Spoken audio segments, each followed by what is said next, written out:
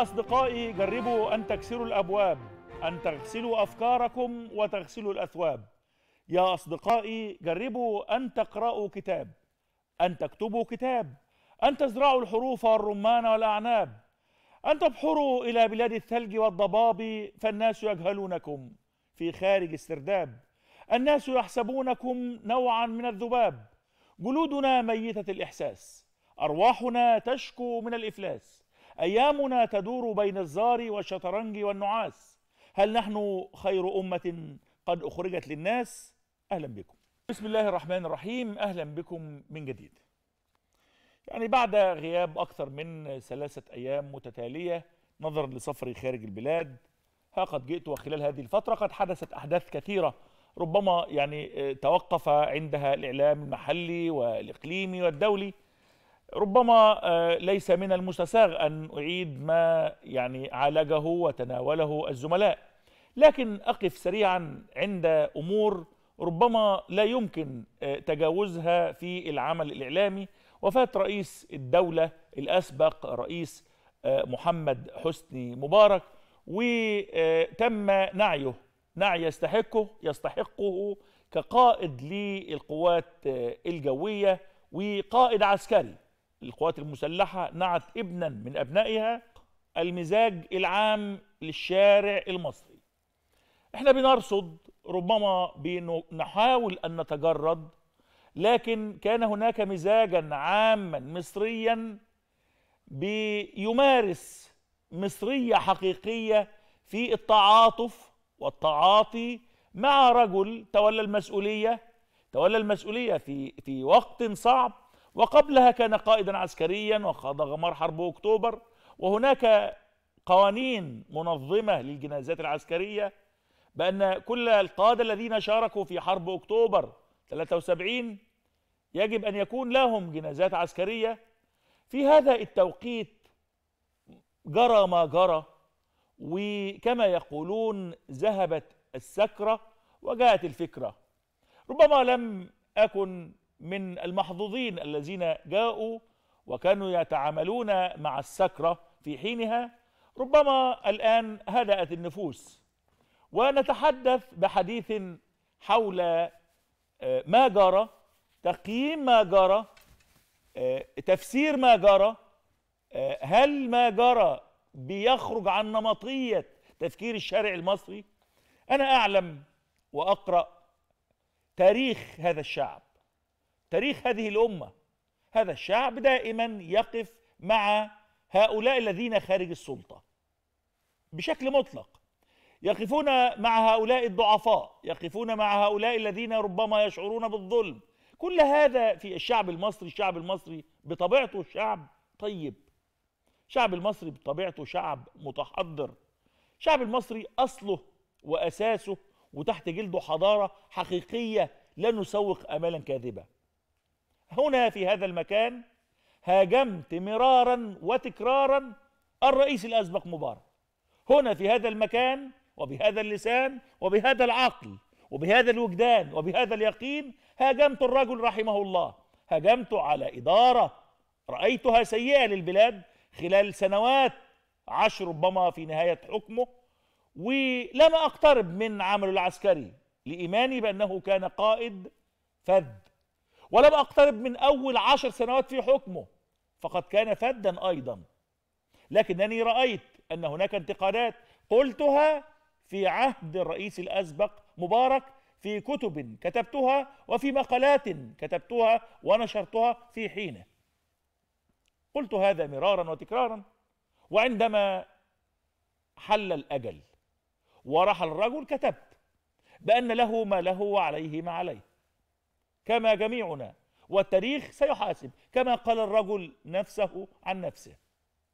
لكن رأيي ليس هو المحك والشعب المصري اللي اتحرك تحرك تلقائي تحرك طبيعي والدولة المصرية كانت سباقة الدولة المصرية كانت عند مستوى تحضر الشعب المصري. الشعب المصري كان عند حسن ظن الدولة. الدولة المصرية بحكومتها بقيادتها السياسية بنخبها بإعلامها بمواطنيها خرجوا لوداع رئيس. كان قائدا عسكريا. هناك من ذهب لتوديع الرجل وهم من هؤلاء الذين يحبون الرجل على كل حالاته. خرج هؤلاء الذين يتميزون بوفاء وهؤلاء الذين خرجوا ليذكروا محاسن موتاكم له ما له وعليه ما عليه. وهناك من خرج ربما بيركب الموجة أي موجة. في النهاية كان هناك كرنفال وطني مصري آه، بيتقدم هذا ال ال ال إنجاز التعبير إنه يكون هو آه، جو جنائزي لكن كان فيه رسالة. جو جنائزي لكنه كان فيه رسالة مصرية. الرئيس بيتقدم الجنازة العسكرية مع كبار رجال الدولة بيقدم واجب العزاء لأبناء الرئيس الأسبق وزوجته. ثم الشعب المصري بيخرج بيتحدث عبر وسائل التواصل الاجتماعي بشكل غير مسبوق ناسيا أو متناسيا.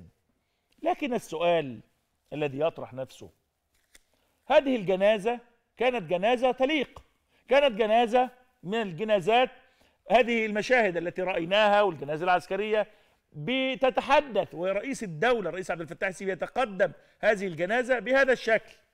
أنا أتذكر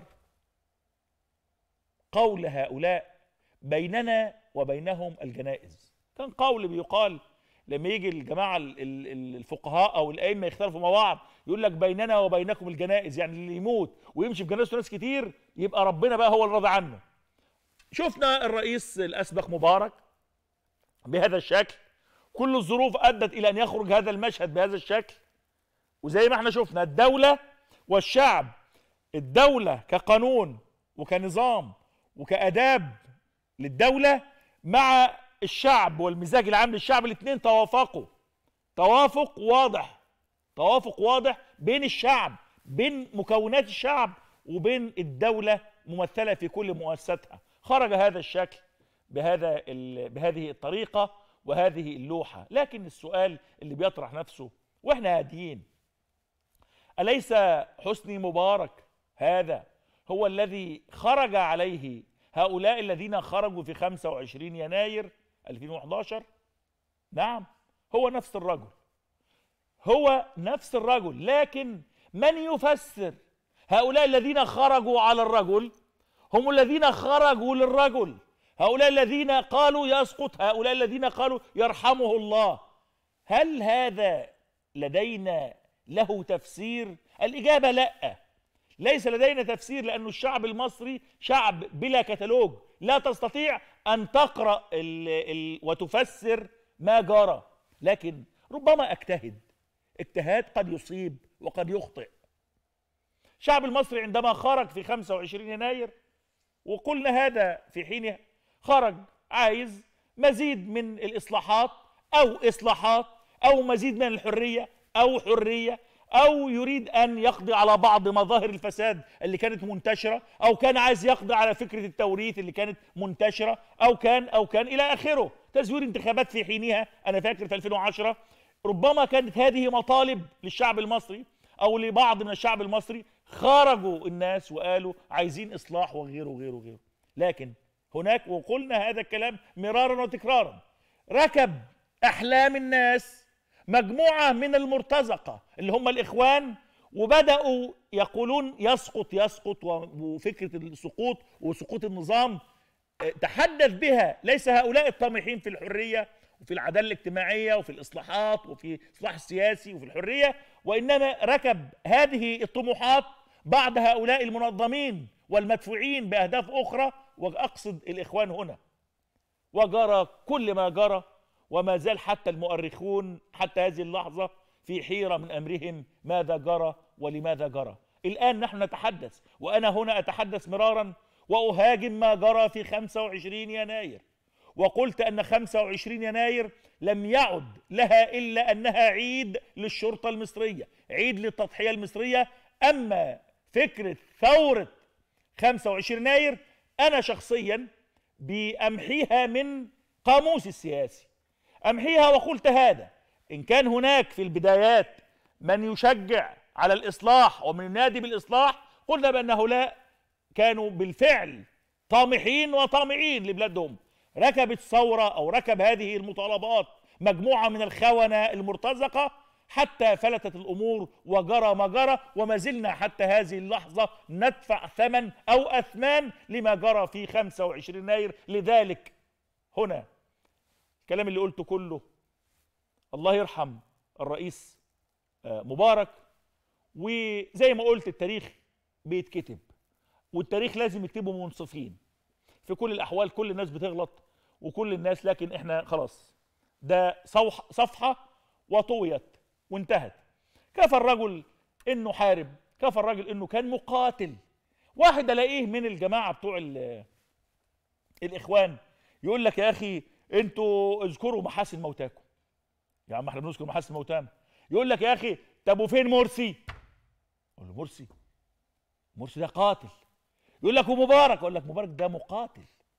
في فرق بين المقاتل مقاتل في جيش بلادي. والتاني قاتل لجيش بلادي. ده الفرق. اللي مش فاهم لابد إنه يفهم. الفرق مفيش حاجة اسمها مقارنة. أنا حتى كتبت هذا الكلام على صفحتي في ناس قالت لي إزاي تقارن؟ أنا ما كنتش بقارن. أنا كنت برد على هؤلاء المرتزقة من الإخوان اللي بيقولوا طب وفين مرسي؟ مرسي كان بيحمل السلاح بالفعل لكن كان بيحمل السلاح بيوجه ضد المصريين وضد جيش المصريين. الفرق بين حسني مبارك ومحمد مرسي ما ينفعش احطهم الاثنين في جملة واحدة. بقول تاني انه إحنا ما بننساش. ودلوقتي لما بتكلم على حسني مبارك بقول الله يرحمه الله يسمح له.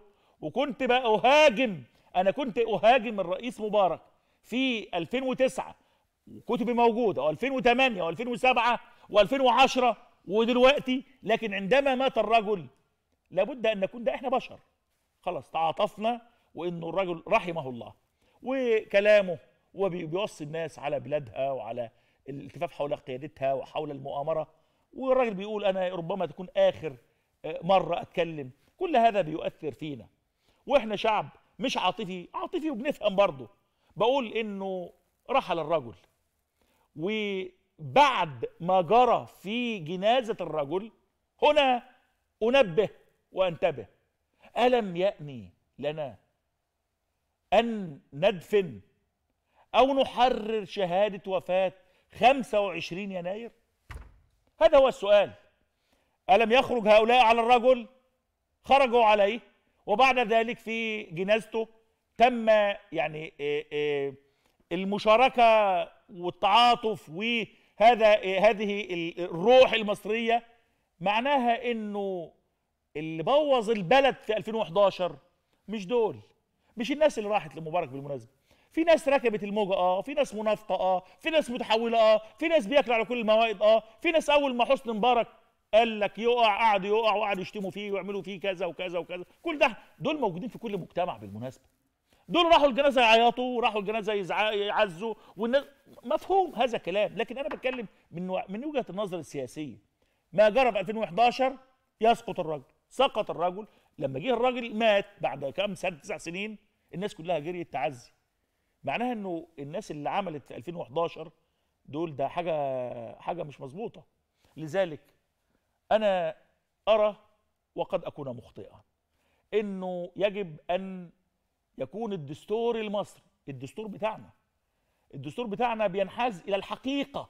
الحقيقة إن في 25 يناير كانت خرابا شاملا على الدولة ما زلنا حتى الآن بندفع الاثمان مش ثمن واحد. بندفع الاثمان في ناس تزعل يقول لك بيشتم الثورة وكان بيدافع الثورة. الحق بيقول الثورة ثورة إيه؟ الثورة زي القرآن كده تم نسخها. الآيات اللي في القرآن بيتم نسخها إيه غيرها بت... بت... خلاص دي تنسخ دي. ثورة 30 يونيو نسخت ما قبلها من ثورة. ثورة 30 6 نسخت يعني لغت يعني خلاص ما عادش فيه ثورة 25 يناير.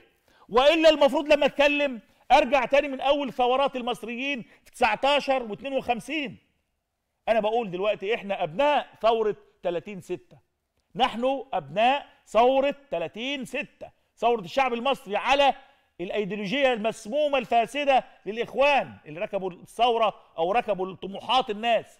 بقول تاني دباجه الدستور بتاعنا فيها كلام كتير. وخوف 29 يناير وبتاع يجب أن يختفي كل هذا. وأنا بتكلم بقول إنه المجتمع وإرهاصات المجتمع وإحنا جزء من المجتمع وجزء من إرهاصاته يجب أن ننظر بهذا ونفكر بهذا ونفتح المجال لهذا. أنا في تقديري إنه ما جرى في جنازة الرئيس الأسبق مبارك هي بتمثل توقيع شهادة دفن نهائية لما جرى في 25 يناير 2011 وتعود 25 يناير كعيد للشرطة المصرية للتضحية للفداء فيما جرى 1952 في شهر يناير يوم 25 في مدينة الإسماعيلية أو في مبنى المحافظة حينما استشهد رجالات الشرطة المحاصرين من الاحتلال البريطاني.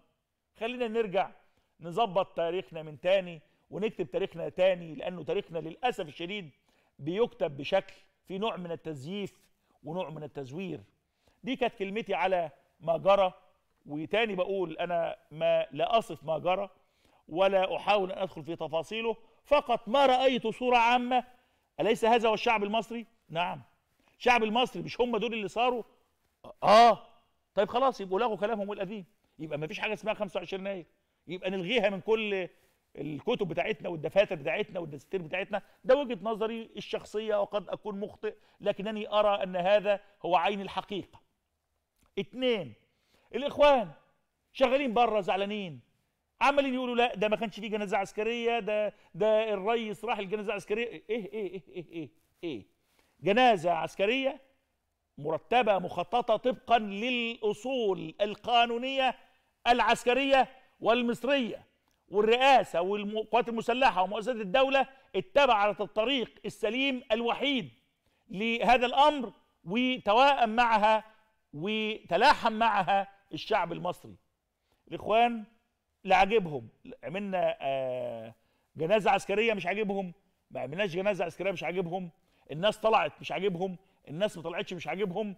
وبيتكلموا في الآخر يحطوا مرسي في جملة مفيدة. أنا بقول هذه هي الجنازة إن كانت الجنازات بيننا وبينكم اثنين لا تقارنوا أو تضعوا. هذا الإرهابي القاتل محمد مرسي العياط في جملة مفيدة أمام رجل مقاتل قاتل باسم الجيش المصري مرة تعالوا نشوفوا محمد البرادعي وعامل تغريدات. أهو. أهم من أهم بيقول واهم من يظن أن المحاولات الظاهرة والمبطنة لطمس معالم ثورة يناير وتشويه أهدافها سيعيد الوضع إلى ما كان عليه. العقول تغيرت بلا رجعة وفكر الحرية والكرامة استقر في الوجدان.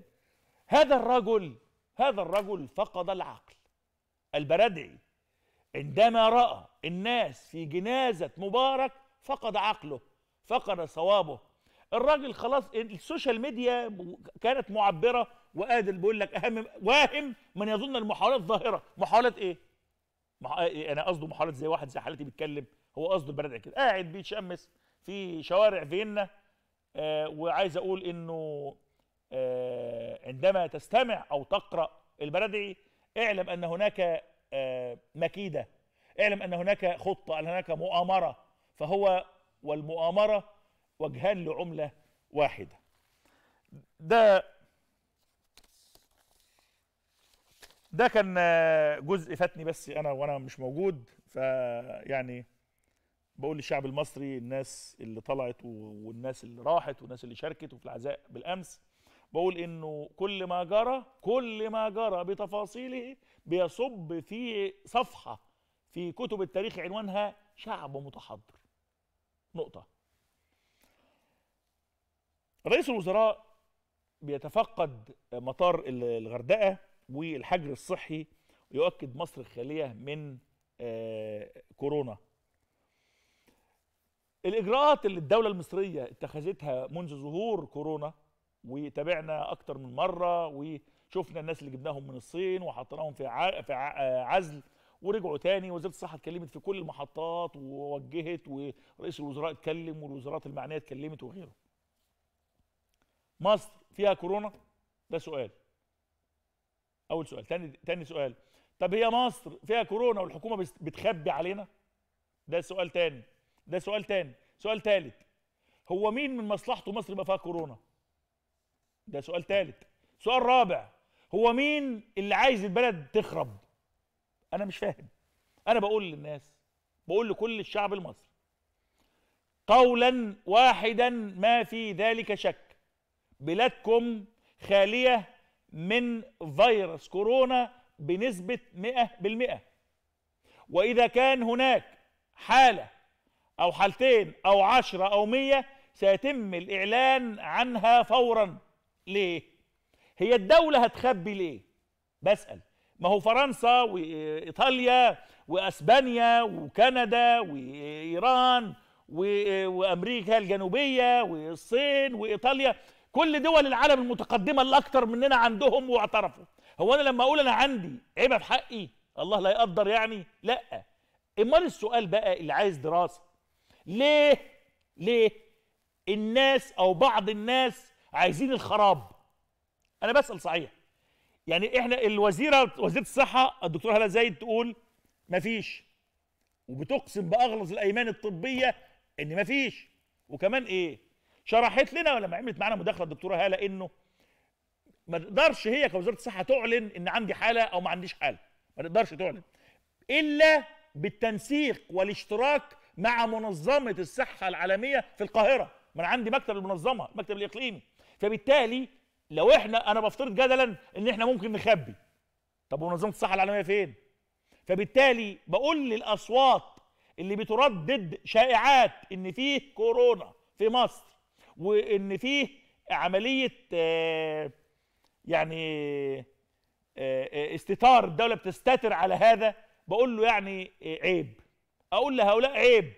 لكن أكيد اللي بيردد هذه الشائعات ما يعرفش العيب لأنه الجماعة بتوع المحطات إياهم مرتزقة المحطات الفضائية والجماعه اللي بيرددوا الشائعات كيعني كالنعاج وكالخراف بيردد.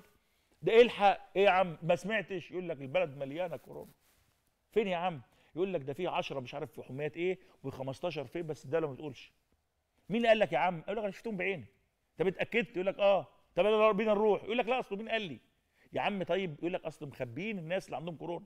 ده فرنسا قالت إن في ناس جم من مصر عندهم كورونا وإحنا اكتشفناها.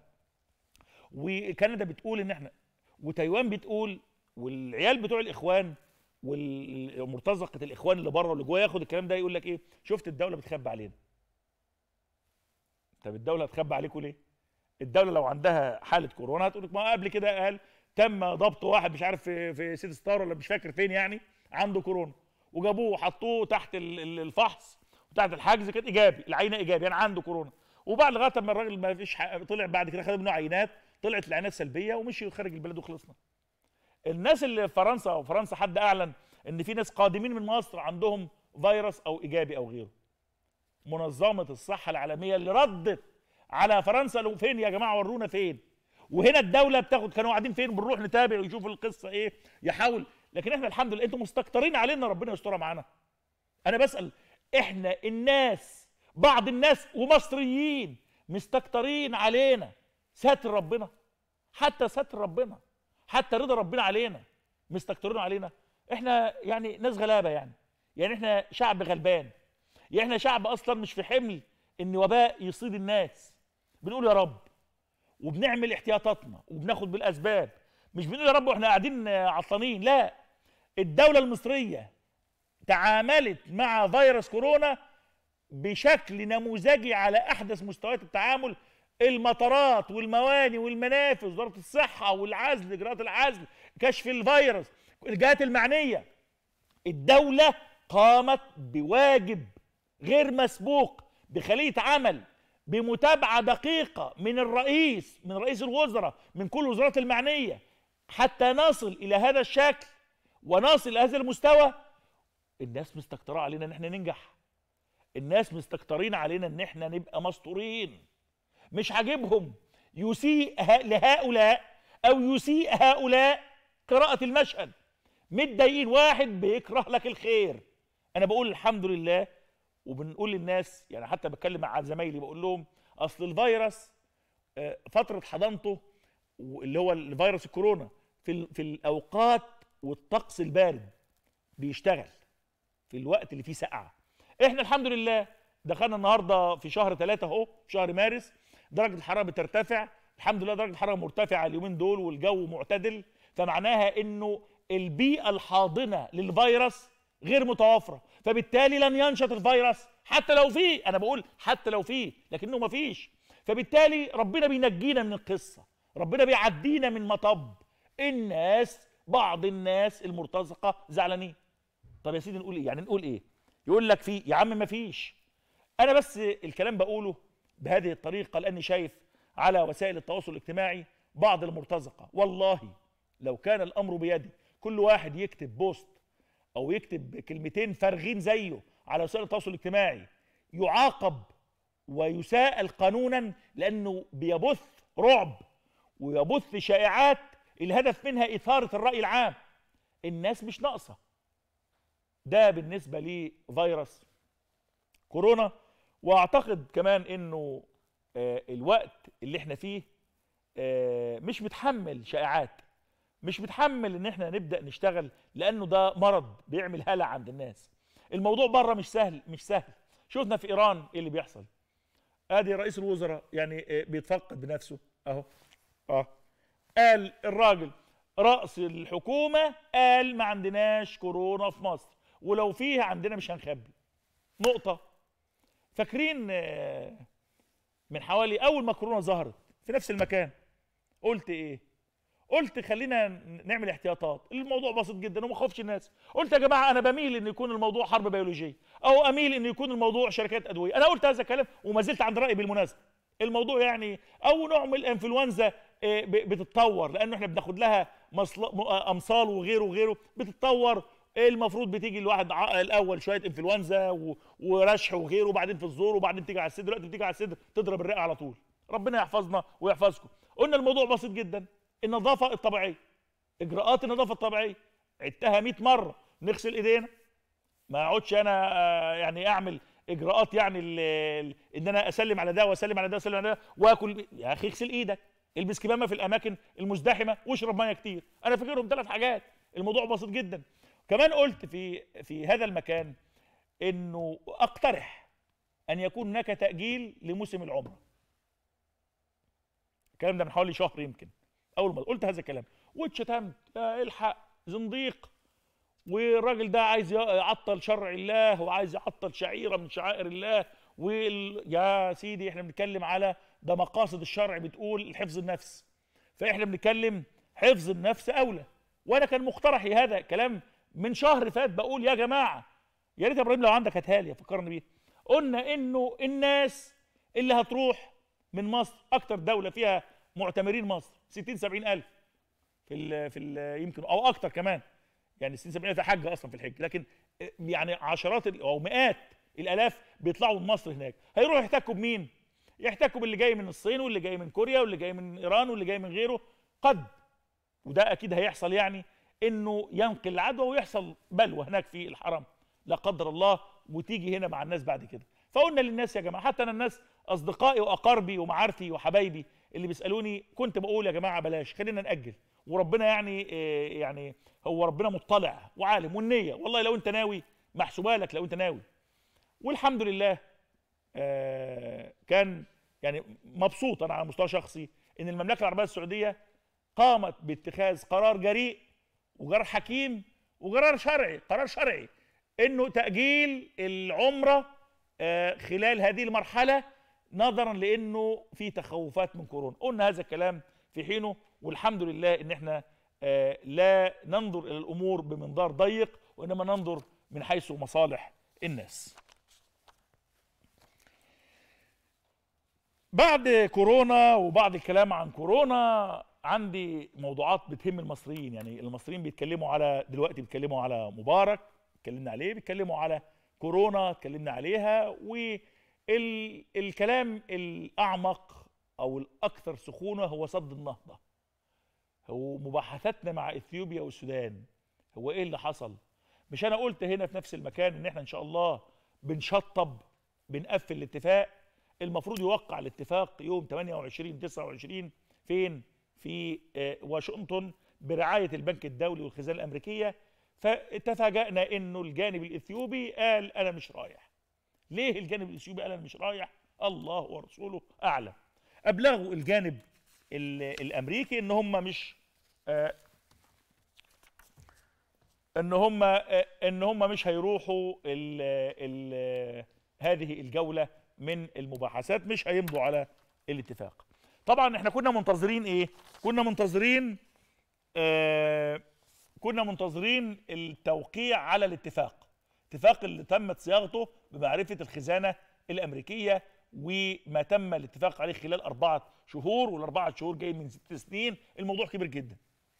لكن الولايات المتحدة الأمريكية قالت بصوا كلام بقى خلاصته يعني ما جوش الأثيوبيين عشان يمضوا قالوا ادونا شوية وقت بس نراجع طيب أمريكا قالت لهم لا يمكن لا يمكن لا يمكن بدء ملء السد دون اتفاق مع مصر والسودان.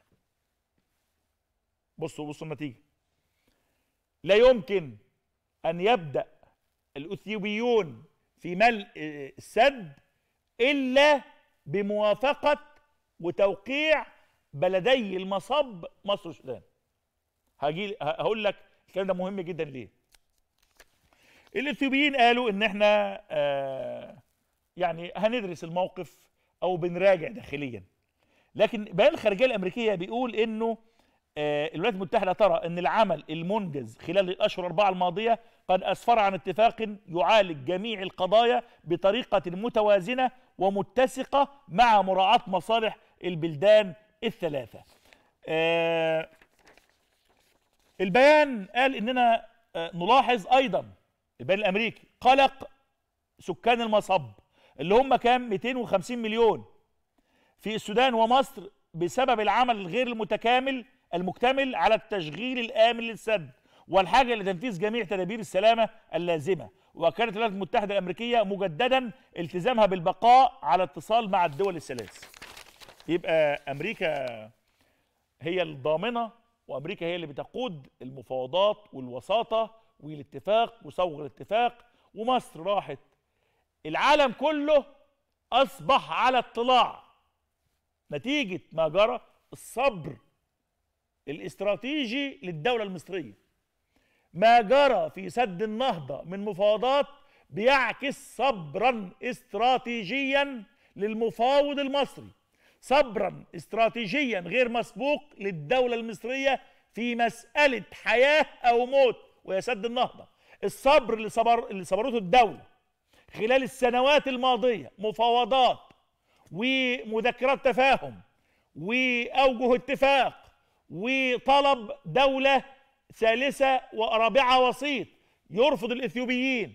وبعد ضغوط معينة واتفاقات معينة بتوافق الإدارة الإثيوبية مع السودانية مع المصرية على رعاية أمريكية وساطة أمريكية والبنك الدولي وزارة الخزانة الأمريكية العالم كله بدلا ما كان المباراة محلية غير معلنة في غرفة مظلمة كانت المباحثات والمفاوضات اللي في القاهرة والخرطوم وأديس أبابا وكأننا نبحث عن قطة سوداء في غرفة المظلمة. محدش شايفنا.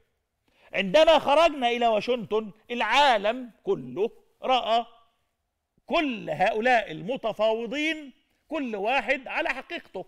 كل واحد طلع اللي عنده. كل واحد طلع وأعطى ما لديه من مستندات أو معلومات. اكتشف الجميع إنه الإدارة المصرية أو المفاوض المصري نزيه. اتنين صابر. ثلاثة صاحب حق. أربعة فعلا صادق في نواياه في مصلحة شعوب الدول الثلاث لما يجي النهاردة أثيوبيا تقول مش همضي أو هأجل شوية مين اللي رد؟ الإدارة الأمريكية. قالت لهم لا السد ما يتملاش إلا بعد موافقة مصر والسودان. هم عايشين القصة وسطاء في القصة. لذلك سد النهضة آه أثيوبيا تعارض بيان واشنطن دلوقتي. أثيوبيا تعارض بيان واشنطن آه وصيغة الاتفاق اللي توقعت عليها مصر دلوقتي. أصدرت وزارة الخزانة الخارجية والمياه والطاقة الإثيوبيتان بيانا مشتركا عبر عما وصفه بخيبة الأمل. إزاء البيان الصادر من وزارة الخزانة الأمريكية بشأن سد النهضة عقب جولة المفاوضات التي عقدت في واشنطن الخميس والجمعة الماضيين بحضور مصر والسودان والبنك الدولي. والذي قاطعته إثيوبيا وأسفر عن توقيع مصر منفردة بالحروف الأولى على اتفاق اتفاق أعدت صياغته أمريكا والبنك الدولي. وذكر البيان إن إثيوبيا أبلغت مصر والسودان والولايات المتحدة أنها بحاجة إلى مزيد من الوقت للتداول في هذه العملية. وزعمت إثيوبيا في البيان أن باعتبارها مالكة السد فإنها ستبدأ في الملء الأول لخزان السد بالتوازي مع البناء. وذلك بمراعاة مبادئ الاستخدام المنصف والمعقول والتسبب في عدم حدوث ضرر كبير على النحو المنصوص عليه في اتفاقية إعلان المبادئ الموقعة مع مصر في 2015 بلهجة حادة قال البيان إن أثيوبيا لا تقبل توصيف البنود التي تمت صياغتها باعتبارها المبادئ التوجيهية والقواعد بشأن الملء الأول والتشغيل السنوي.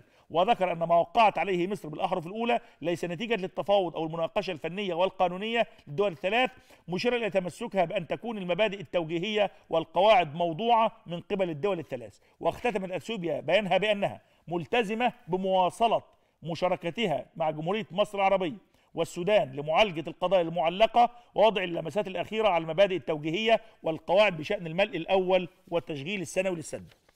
طبعا مصر كانت أصدرت بيان فجر اليوم أكدت فيه أن موقفها قد اتسم خلال جميع مراحل التفاوض المضني على مدار الخمس سنوات الماضية والتي لم تؤتي ثمارها بحسن النية وتوفر الإرادة السياسية.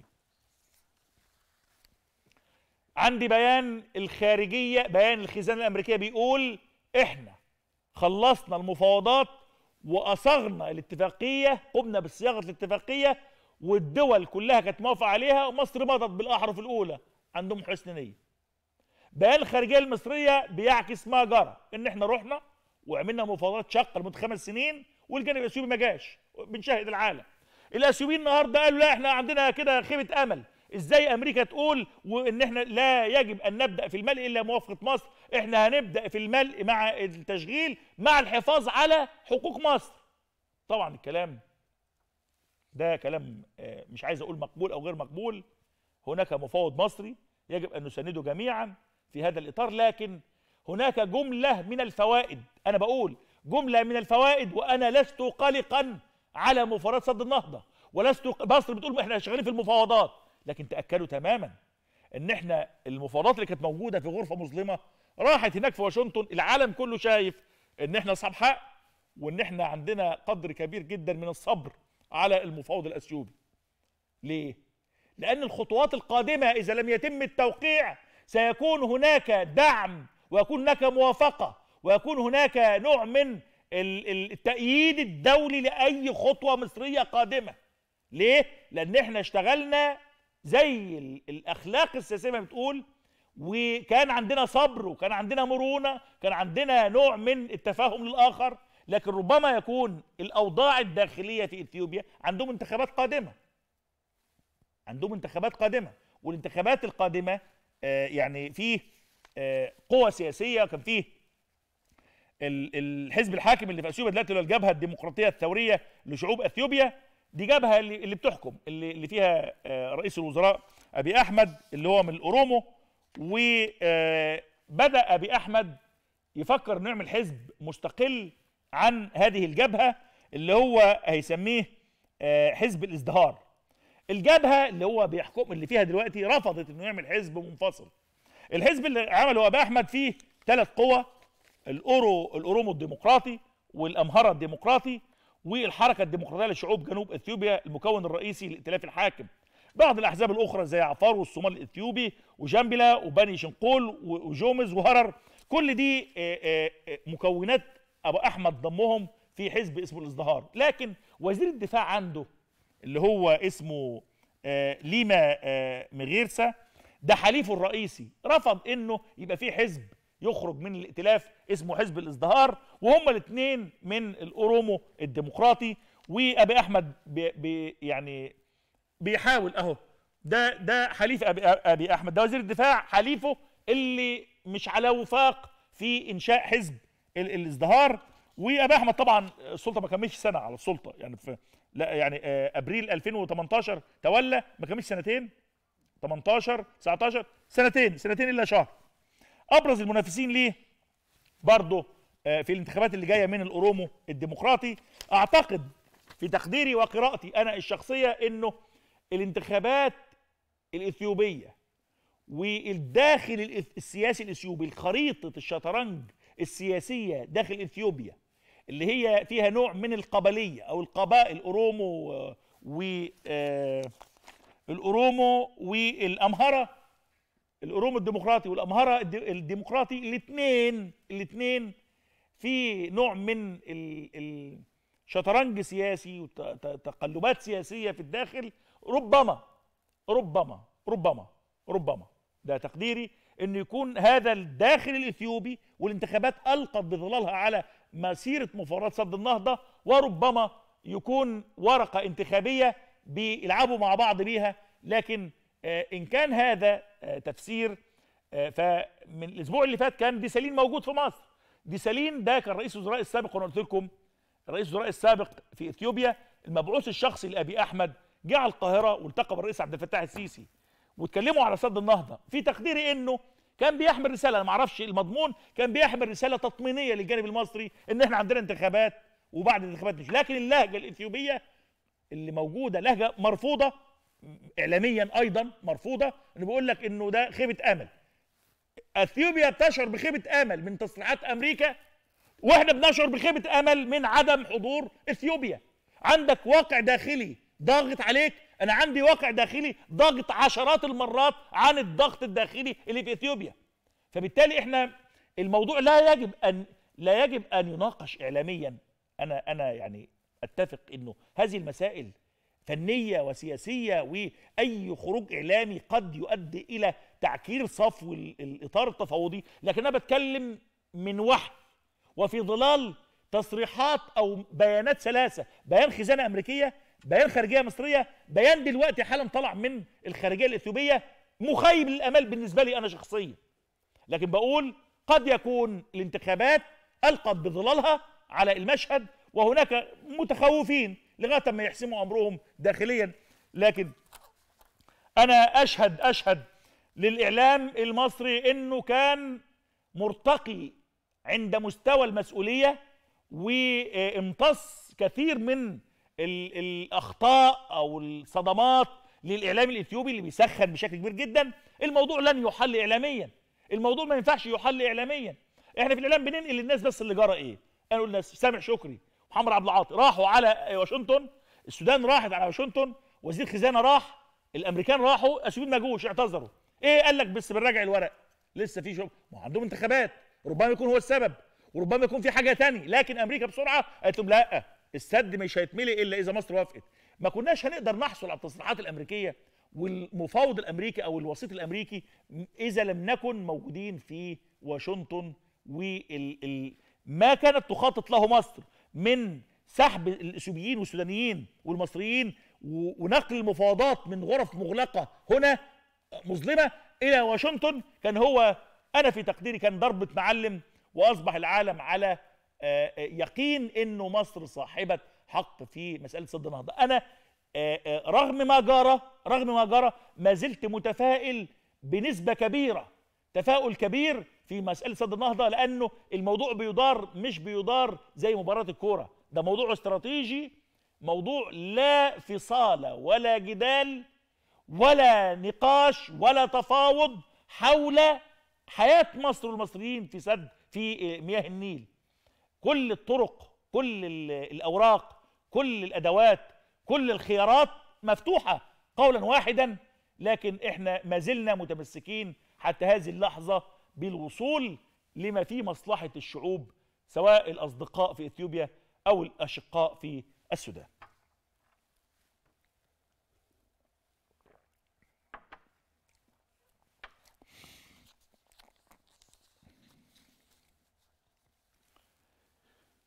يوم آه، 27 فبراير من كام يوم؟ الساعة واحدة الظهر. الساعة واحدة ظهر من ظهر يوم 27 فبراير الجاري. حصل إنه الطائرات المسيرة التركية اللي هي بدون طيار بدأت تخرج عن إطار المجال المسموح لهم إن هم يتحركوا فيه في إدلب. وبدأ الطائرات المسيرة التركيه تحوم حول تجمعات الجيش السوري والجيش الروسي مع بعض. تحذيرات للجيش التركي من الجيش السوري إنه أي خروج عن نقاط المراقبة التركية هتصبح القوات التركية هدفا للطائرات السورية الروسية. لم يستمع الأتراك. خرجوا متجهين صوب القوات الروسية والسورية. وهنا تم إصدار القرار مشترك روسي سوري بأنه خرجت الطائرات سخوي 22 وسخوي 34 لتبدأ في الهجوم على القوات التركية حوالي كم ألف جندي وضابط تركي. بدأ الأتراك يجروا بسرعة للاختباء في بنايتين مبنيين كبار على جانبي الطريق. لما لقوا الطيران الروسي مفكرين بيهزروا والسوري بيهاجموا عليهم استخبوا في آه اتنين من المباني على جانبي الطريق. قامت القوات الروسية السورية المشتركة باصطياد الأتراك وتفجير أحد هذين المبنيين على رؤوس الأتراك فأودت بحياة أكثر من خمسين جندي تركي دفعة واحدة. الرواية الرسمية التركية بدأت تقول لك ده 2 لا 9 لا 11 لا 23 لا 34 لا 35 الرواية اللي هثبتها لكم دلوقتي بتقول 50 أكتر من 50 58 واحد. طبعا ال ال الأتراك في هذه الليلة كانت ليلة سوداء. بسرعة أردوغان اتصل ورئيس ووزير دفاعه اتصل بالروس. اخلوا لنا المجال الجوي عشان ننقل هؤلاء القتلى والجرحى إلى تركيا. رفضت سوريا وروسيا السماح للأتراك بدخول المجال الجوي فتم نقل القتلى بسيارات إسعاف لمده لمسافة 70 كيلو داخل الأراضي السورية وصولا إلى منطقة منطقة ريحانلي على الحدود السورية التركية وكانت ليلة سوداء. الجنازات قدامنا ليلة سوداء على أردوغان وعلى الجيش التركي. بعد الحادث اللي حصل في تركيا في في إدلب إدلب دي في سوريا. يعني بس أفكر الناس إنه الواقع الجيش التركي اصطادوه السوريين في أرض سوريا. مش في أرض تركيا. سمعوني صوت الجنازات.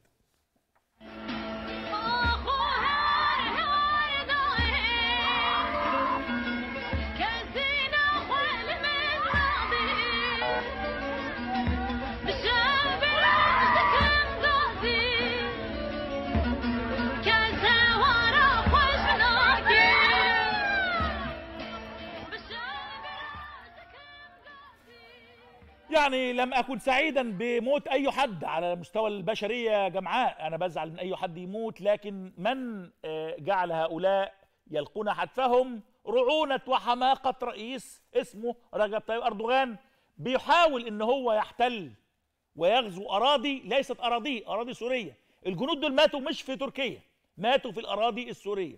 بسرعة أردوغان وسويل وزير داخليته وخلوصي اكار قعدوا اجتماع يوم الجمعة امبارح لمدة ست ساعات بيدرسوا الموقف وبسرعة الاجتماع خرج بالآتي. أردوغان ألوه مستر ترامب الحقني. ألوه آه مسز آه ميركل الحقيني. ألوه مسيو ماكرون الحقني. اتصل أردوغان بزعماء الناتو. الحقوني أنا بغرق في إدلب. أنا بتحرق في إدلب. بسرعة الأمريكان اجتمعوا وقالوا والله إحنا هنحاول نساعد ونحاول نوقف إطلاق النار لكن يا أردوغان هو ده صديقك الروسي. أنت بعتنا ورحت اشتريت اس 400 من عنده. اشرب بقى بس إحنا مش هنسيبك. ميركل قالت له يجب ضبط النفس. ماكرون ما عبروش. قال له أنت كنت بتشتمني من كام يوم. أول رد فعل من هذه الدول على أردوغان إنه إحنا بنشوف. بسرعة أردوغان طلب لأنه عضو في حلف الناتو طلب مساعدة الناتو الناتو اجتمع. الدول أعضاء الناتو قالوا إحنا طبقا للميثاق ودستور الناتو. ماده اربعه بتقول أي دولة تطلب اجتماع إحنا بنوافق. أردوغان عضو طلب اجتماع إحنا وافقنا. بنناقش الموضوع اكتشفنا إن إحنا ليس هناك من وسيلة لتدخل الناتو لأنه أردوغان لم يتعرض ولم تتعرض تركيا لاعتداء وإنما هي المعتدية. يعني حلف الناتو قال إنه لو في اعتداء على الأراضي التركية هنتدخل. لكن ده تركيا أو أردوغان هو اللي معتدي على اراضي سوريا. سوريا ليست هدفا للناتو. النهارده أردوغان ده كان امبارح النهارده خرج أردوغان في خطاب وقال إحنا مش رايحين بدعوة من الأسد. أمال رايح بدعوة من مين؟ إحنا رايحين بنستجيب لنداء الشعب السوري. الشعب السوري. هل الشعب السوري إدى تفويض لأردوغان؟ هل الشعب السوري طالب بتدخل أردوغان؟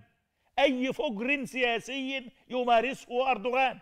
أردوغان بيمارس رذيله سياسية بتصريحاته النهارده إنه هو موجود في سوريا بناء على دعوة الشعب السوري وليس بشار. أمال بشار شغال إيه؟ بشار شغال رئيس سوريا. والجيش السوري مش جيش مش مرتزقة مش إرهابيين. و وبعدين أردوغان النهارده هو بيتكلم بيقول أنا رايح عشان الشعب السوري. كمل طلع اللي جواه. قال أنا بقول لميركل أنت كنت وعداني بفلوس. ما جبتيش الفلوس. انت كنت وعداني ب 25 مليون دولار. يا أيها الرخيص 25 مليون يورو أيها الرخيص.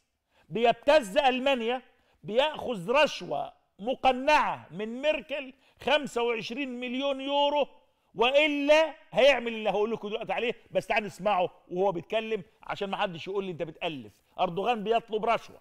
بيبتز ألمانيا كام؟ 25 مليون يورو. رخيص رخص تعالوا نسمعه Şansölye'ye dedim ki Merkel'e bak böyle bir durum var. Sizin bana daha önce verilmiş böyle büyük rakamlarla sözleriniz vardı. Söyleyin söyleyin en fazla 25 milyon avro ben de vereyim dedi. Biz ona da tabii kabul dedik. Tabii böyle bir şey olmadı. Aradım tekrar şansölyeyi. Para hazır dedi. Dedim hazır olan paranız buraya gelmiyor.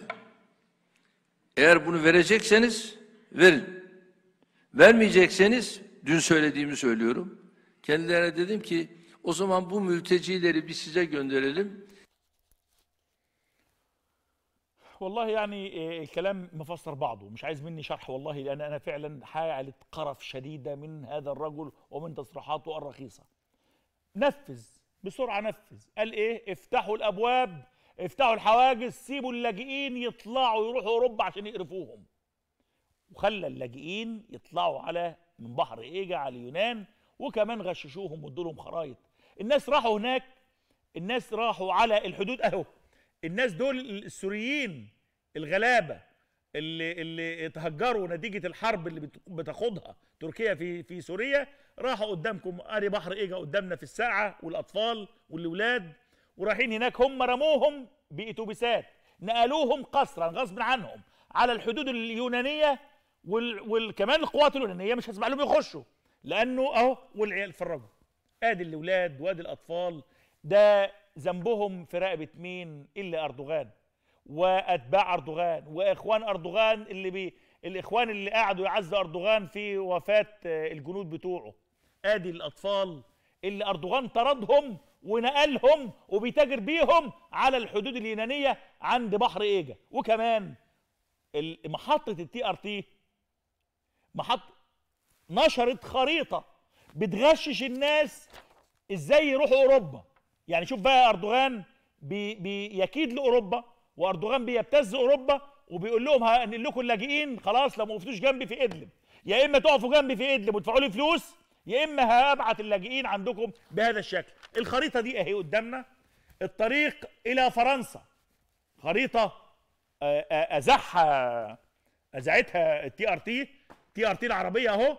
قال لك اطلع من هنا في 3 مليون موجودين في إدلب. اهي إدلب. ونازحين من من تركيا بتضرب. فالناس هتروح فين؟ عايزين يمشوا في أي مكان. ادوهم خريطة. قال لهم تمشوا كده من تركيا؟ أهو. تطلع بقى على الدول دي لما توصل ألمانيا. وتطلع بالخريطة كده كده كل دول يروحوا اليونان. التجمع هنا في المنطقة دي تعدوا بحر إيجا وعلى اليونان ومن اليونان على فرنسا أو اللي عايز تروح النمسا يروح ولا أدي خريطة. مين اللي نشر هذه الخريطة؟ اللي نشر هذه الخريطة قناة ال TRT اللي بيديرها مكتب أردوغان. بيقولوا للناس إزاي تطلعوا من إدلب عبر تركيا إلى بحر إيجا أو إلى ال- ال- البحر الأسود ألمانيا وفرنسا. لذلك ابتزازه لألمانيا وفرنسا ابتزاز حقيقي واقعي. أهو. ده ده شغل ده شغل أردوغان لا يرقى أن يكون رئيس دولة. أردوغان رئيس عصابة زعيم عصابة بيدير عصابة بيبتز عامل زي الناس بتوع زمان اللي كان بيسموه فتوة الحي. ياخد آه، آه، إتاوة عشان يحمي أو عشان يذل أو عشان يبتز. هي دي ممارسات أردوغان. زعيم المعارضة التركية كمال كليشدار أوغلو قال أنا كلمت بالتليفون وزير ال- ال- الدفاع خلوصي أكار بسأله عن الوضع إيه؟ قال ما ردش عليا. ليه؟ ما عندوش كلام يقوله. الراجل بيقول قعدت أعيط. زعيم المعارضة أهو. زعيم المعارضة يبكي. وزير الدفاع لم يجد ما يقوله بعد مقتل جنودنا في ادلب فقعد يعيط. ما هيرد على التليفون يقول إيه؟ ما ردش على التليفون.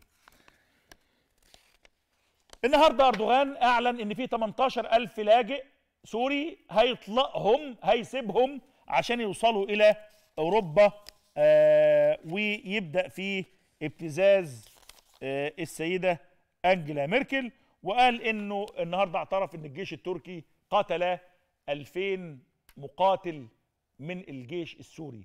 فجر ما بعده فجر. في تقرير لبلومبرج بيقول آه، تقرير بلومبرج بيقول آه، هل اقتربت نهاية أردوغان؟ بيكلم تقرير بلومبرج إن عنده صعوبات داخلية وخارجية وما جرى في إدلب ربما يكون يعني آه، ختام لحياة أردوغان السياسية والتقرير بيقول إنه مشكلة كبيرة جدا بتواجه أردوغان في سوريا هتلقي بظلالها في الداخل والتحالفات الموجودة عنده في الداخل وربما تقوض من حكم أردوغان. ده تقرير لوكالة بلومبرج النهارده بيتساءل هل اقتربت نهاية أردوغان؟ ده التقرير قدامنا هو ذاعته قناة العربية.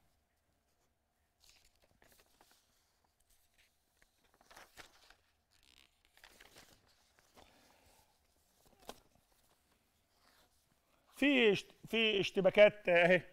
دي دي دي اشتباكات بين ال- السوريين والأتراك واليونانيين لأنه الحتة اللي قدامنا دي المنطقة اللي قدامنا دي هي المنطقة الحدودية اللي أردوغان والقوات التركية وصلوا الناس السوريين إليها عشان يخوضوا في البحر ويعدوا البحر ويوصلوا اليونان ومن اليونان غشوهم الخريطة عشان يوصلوا أوروبا. ده جزء من الاشتباكات اللي النهارده والآن بتدور في هذه المنطقة. خلينا آه، آه، أشوف فيه آه، واحد آه، واحد سوري آه، كان مغشوش في أردوغان. متخيل إن أردوغان يعني آه، رجل حق وعدل ومساواة. تعالوا نستمع إليه مع مع الرقيع فيصل القاسم على الرقيع الجزيرة. شوف بيقول إيه وبيعترف على أردوغان بيقول إيه. السيد أردوغان الرئيس التركي يرفع السقف إلى درجة أنه صعد إلى أعلى السلم ولا يستطيع النزول منه. صعد إلى أعلى السلم. ولا يستطيع النزول. كيف؟ كيف؟ لذا لأنه يصرح خط أحمر في حما ويخرج من حما خط أحمر في حلب ويخرج من حلب خط أحمر. صرنا عم نحكي بحارة أبو فطيس الط- الطلحاني. صرنا عم نحكي بالنيرب بقرية صغيرة يا زلمة.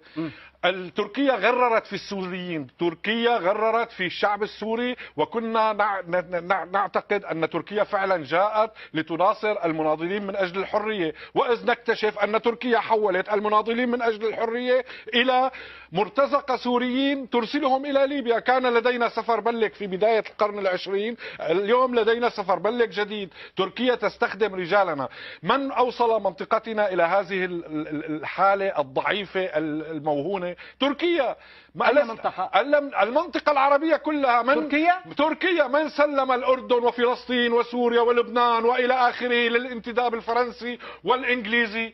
من سلم أليس ال- ال- ال- ال- ال- الخلافة العثمانية المنهارة؟ ألم يتركونا إلى مصيرنا هناك؟ ألم يتركونا لتنهش بنا الذئاب؟ ألم يتركونا إلى الاستعماريين الذين جاءوا لنا بجنرالات تحكمنا بالحديد؟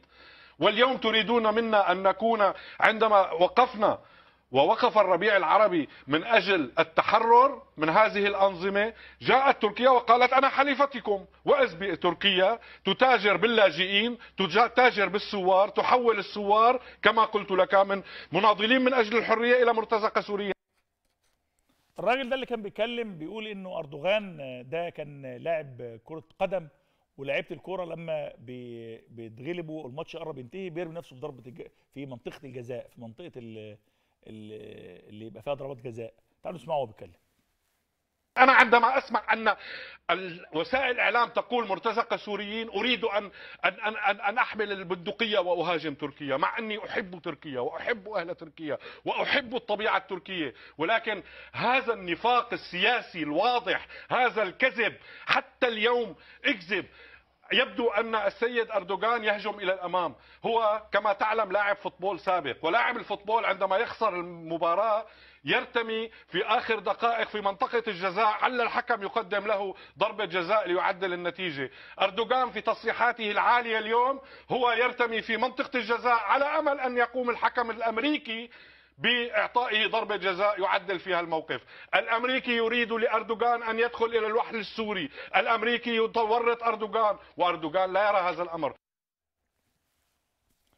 في بيان صحفي صدر داخل تركيا اسمه بيان صحفي للجالية المصرية في تركيا حول هجوم إدلب وكاتبين آية قرآنية من قتل نفسا بغير نفس أو فساد في الأرض فكأنما قتل الناس جميعا. تنعي الجالية المصرية في تركيا ضحايا الهجوم الإرهابي الذي استهدف قوات الجيش التركي في إدلب. والله العظيم والله بيان صادر من معتز مطر وأيمن نور ومرتزقة ال- الإخوان اللي هناك بيقولوا من قتل نفسا بغير نفس أو فساد في الأرض فكأنما قتل الناس جميعا. قصدهم على مين؟ على سوريا. بيقولوا إن إحنا بنعزي تنعي الجالية المصرية مش مصريين ولا حاجة دول خون. تنعي قتل الجنود الجيش التركي فين؟ في إدلب. يعني هم ماتوا فين؟ ماتوا في سوريا. مات في بيتي. مات في بيهاجم على بيتي مات في بيتي. هم يقولوا إنه من قتل نفسا كأنما قتل الناس جميعا وبتنعي الشهداء وبتقول ضحايا الهجوم الإرهابي. أي فجر يمارسه الإخوان. أهو راجعوه. بيقول لك يعني واحد دخل بيت واحد بيسرقه وبعدين ما يموت يقول لك ده شهيد والارهابي قتله ما لكم كيف تحكمون ده مين؟ دول المرتزقة اللي خدوا الجنسية التركية المصريين اللي هناك.